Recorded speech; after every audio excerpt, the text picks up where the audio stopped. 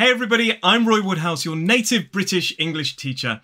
Welcome back to English Right Now. Today, we're going to explore some phrasal verbs that you'll often hear and use in the pub. Now, when teaching phrasal verbs, I often find that learners retain more of the phrasal verbs I teach when they've got a kind of subject, a connected link, rather than just a list of phrasal verbs. So, for example, if you try to learn, I don't know, 10 phrasal verbs with the word get, it's just a list of words. It's no different, in my opinion, to studying in the dictionary and going a, a, a, a, a, a, a with all words connected with a, because quite often, phrasal verbs, even if they share a common verb, they have a completely different meaning, which is why I like to teach phrasal verbs with a kind of connected theme.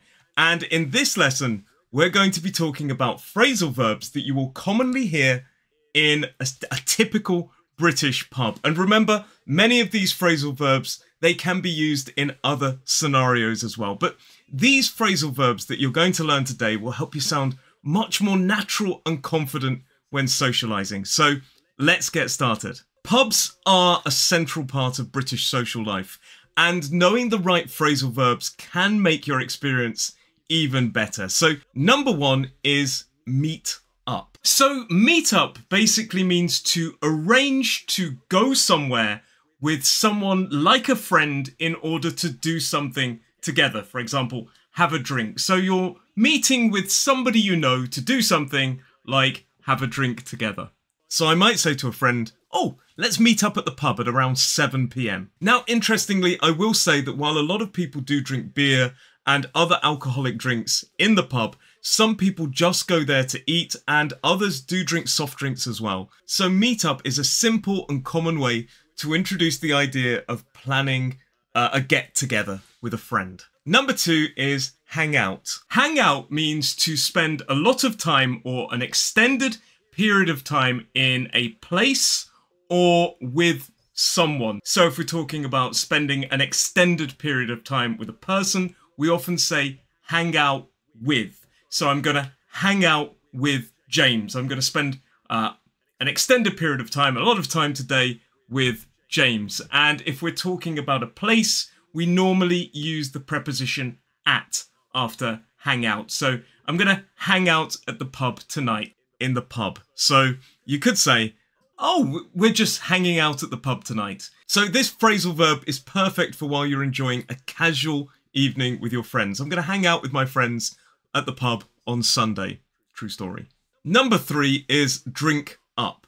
Drink up. Drink up means to finish your drink usually very quickly. So, for example, maybe all of your friends have finished their drinks and somebody, and you've still got maybe, I don't know, that much of a drink left, and somebody says, Hey, drink up. Come on, we're leaving. So you have to drink it very, very quickly. And you will often hear this phrasal verb at the end of the night when the pub is closing the person working behind the bar may tell you to drink up, we're closing. And if you really do want to improve your British English, I have something for you. Every Thursday here on YouTube, I teach a free live class. It's free and it is live. All you need to do to learn more and to join that class is click on the link in the description below, and I will see you there. Number four is chill out. Chill out.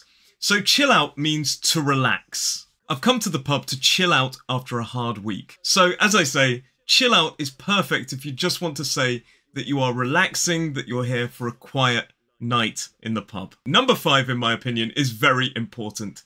It is top up. Now, in the UK, we use top up in a couple of different ways. So, the first way is to top something up.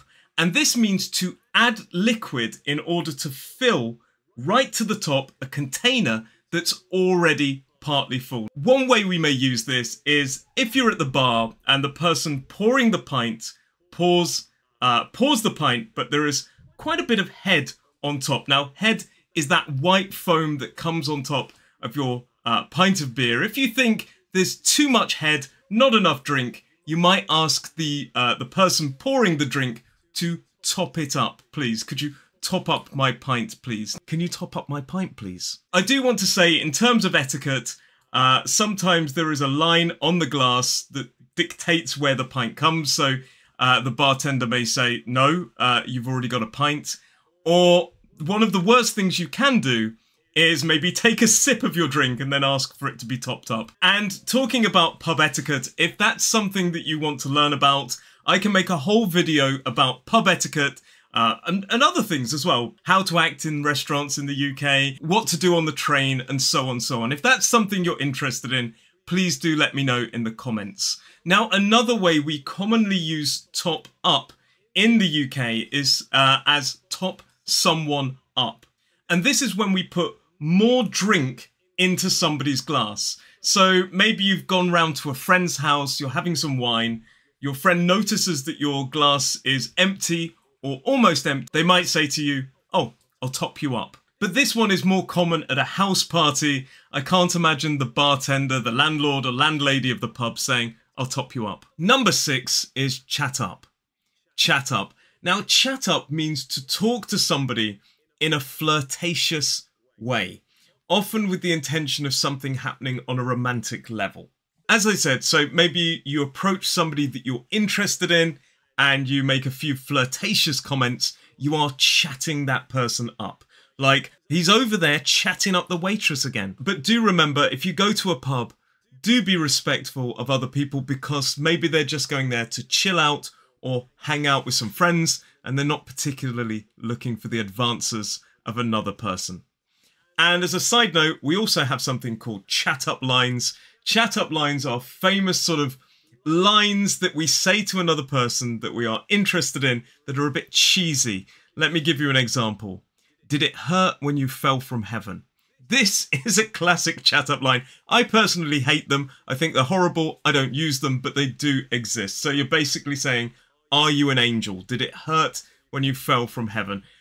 Maybe for some people these work. Let me know in the comments below if you've ever been a victim of chat up lines or maybe you think they do work. Let me know. Now, we've already talked about etiquette with the phrasal verb top up, but if somebody says, no, I'm not interested, or they don't want to sort of receive your advances, just say, oh, sorry, or just walk away. Don't persist. So do be respectful of other people's evenings and what they're doing in the pub. Some people just want that quiet pint. Number seven is catch up. Catch up means to meet and talk with someone that you haven't seen in a while and exchange news. So the pub is a great place to catch up with your friends. So you might say on the phone, it's been ages, let's catch up over a drink. Let's go to the pub. So catch up is perfect for reconnecting with friends.